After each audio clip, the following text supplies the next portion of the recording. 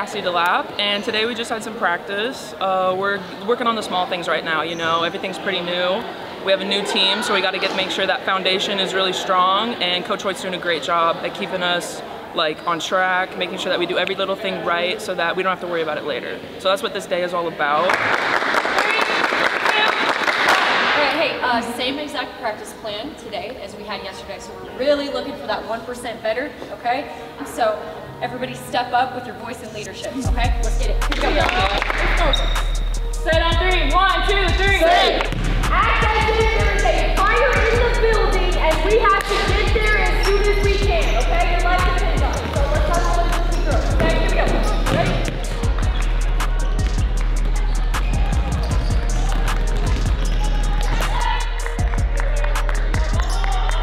Right now we're reading a book right now that's uh, Chop Wood, Carry Water, and it's an assignment that uh, Coach Hoyt has had us, and it's a really great book. Encourage everybody to read it. But there's a part that like you don't want big sexy goals, like you're not gonna get the big sexy goals, so we kind of switched it up and we told each other like we're gonna do the small ugly right now. That's what we're doing. So get the small ugly in. It's not gonna be be fun, but it's what we have to do in order to achieve those big sexy goals. You guys will hear me say this a lot. Player-led teams will always be more successful than coach-led teams. We've been living on this on this saying like being small and ugly and what that means is like, you know, do the hard work in the summer, doing those details, you know. Everybody is looking at the big picture, but the biggest thing for us is just to do those drills and execute those drills and just get a feel for each other. You know, this is a new team and we, you know, this it feels like family right away.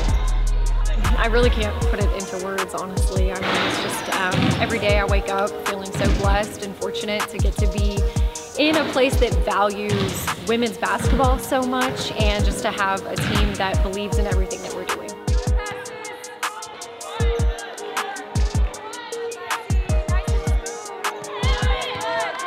We have a term that we say here, the standard is your best.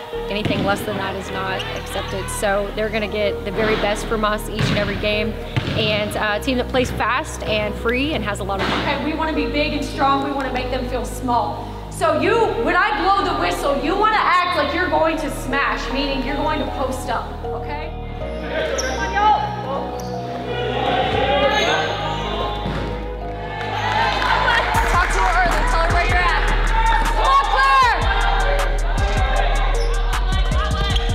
This was just our, probably about our fifth practice, so everything's still really fresh and early for us, but um, our kids are bought in, they're working hard, and the vision. Um, in fact, they're the ones who are coming up with the vision, so that is always a really fun thing to be a part of as a coach. Overall, really great week. I think we got 1% better, without a doubt.